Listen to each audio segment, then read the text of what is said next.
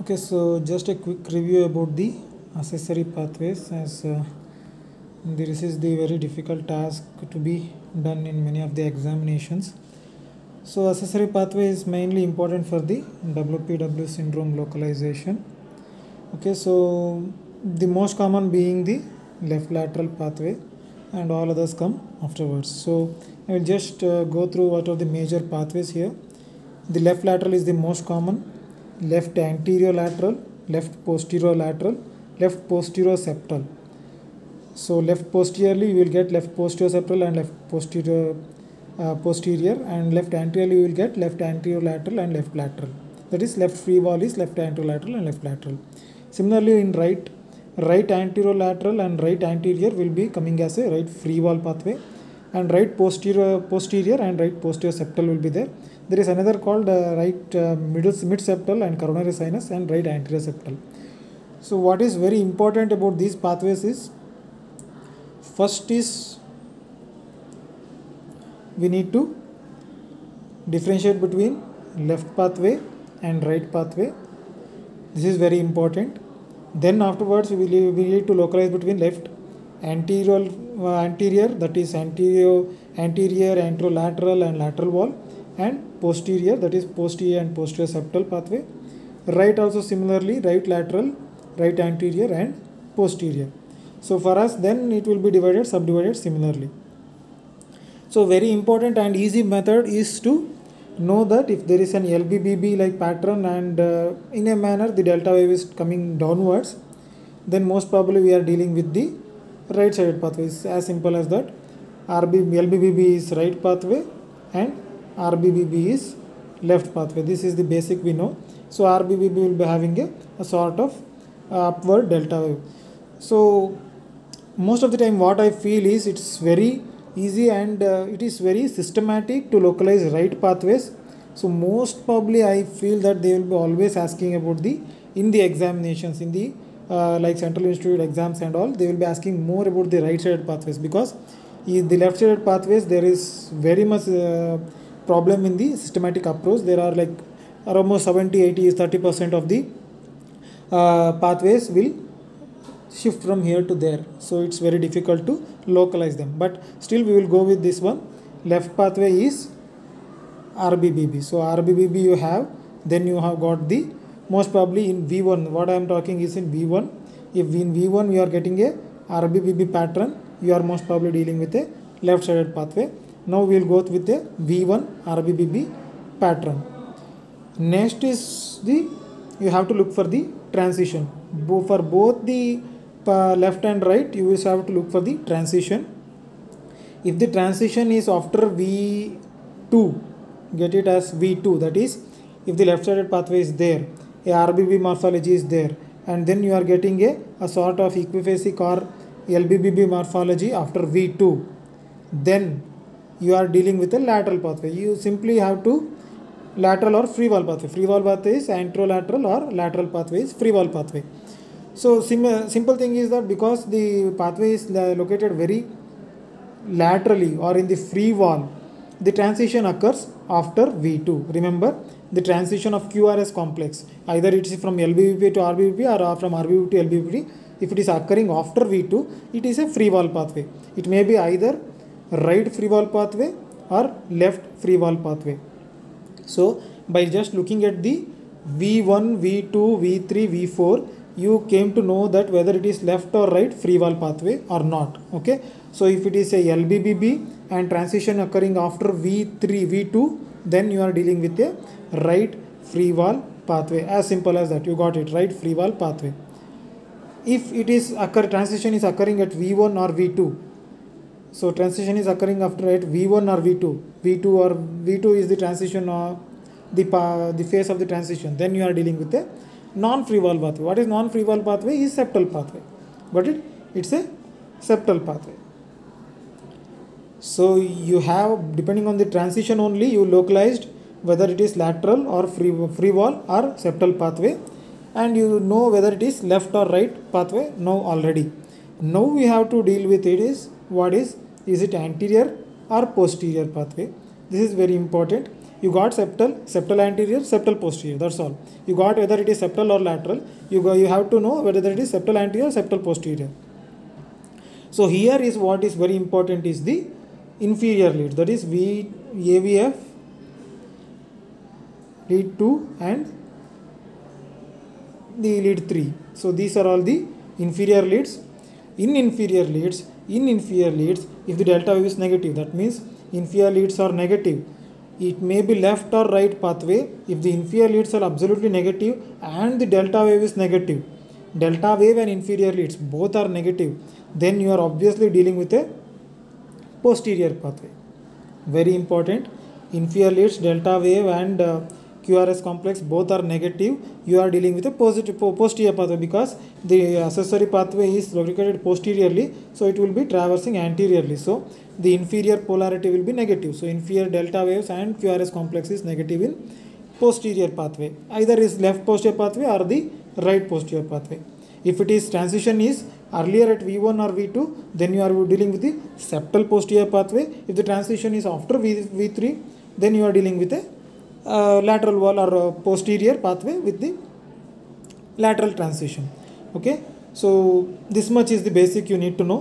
Another thing just i will get to the transition pathway. This is very important slide very easy to remember. You can see that there is a left sided that is delta wave is positive that is RBBB morphology. It's a left sided pathway. I am going through the left thing so once the transition is in V1 or V2 it's a left septal pathway. It's a left septal pathway that's decided okay? If it is in the transition is after V2 or V3 uh, V3 V3 or VC after V2 V3 then it is a left free wall pathway. So you are dealing with a left free wall pathway. Transition is afterwards. Now it is whether it is left anterolateral or left lateral left lateral will be absolutely very much lateral. So the ratio of r by s in v1 will be less than 1 it will be less than 1 very important.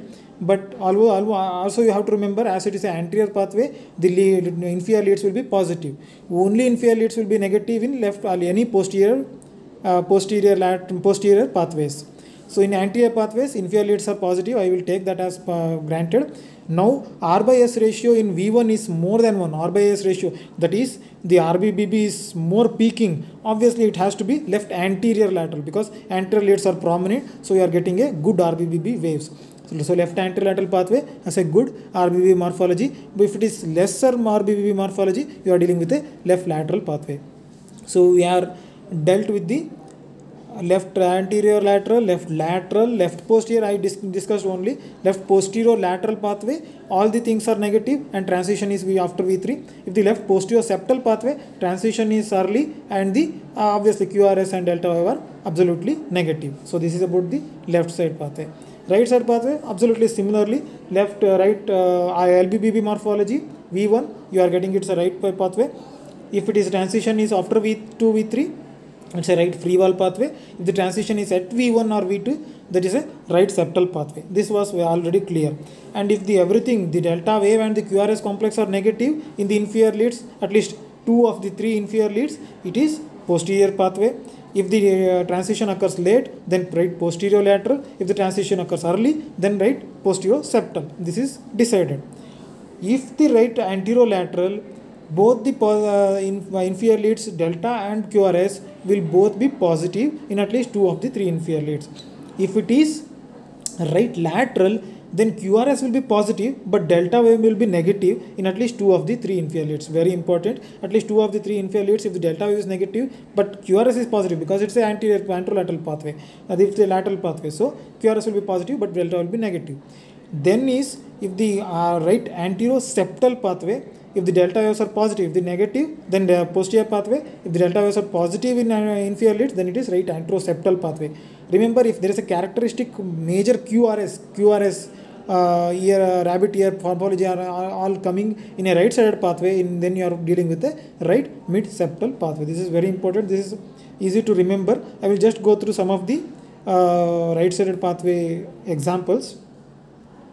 You can just go through this one here you can see the morphology is that of an LBBB. So we are dealing with a clear cut right sided pathway. Then next what you should do is transition. Transition occurs is occurring at the V4. You can see that V4 is the transition occurring. So it's a uh, free wall pathway, either anterolateral or lateral pathway. Correct? It's a free wall pathway. Then go for the inferior leads. What is happening in inferior leads? Inferior leads are positive. Inferior leads are positive. Then you are doing more confirmed that it's a free wall pathway. It's not the posterior pathway. Then you remember go for the delta wave. You can see that the delta the, all the QRS are positive, but the delta waves are two are negative. Like delta waves are one is lead two is positive, but three and AVF are negative. So what you are dealing is the absolutely uh, no, no, no so, sorry, the delta waves are positive and QRS is also positive. So we are dealing with a right anterolateral pathway. Here is an another example similar to that.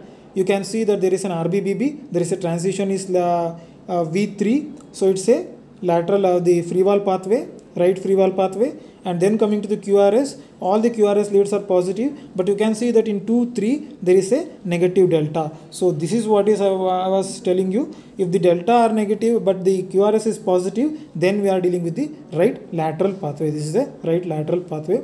This is very important. In all these things there was QRS was positive in inferior leads. You can see here it's a V1 2 V3 V2 transition is there very important. Uh, almost v2 v3 transition is coming.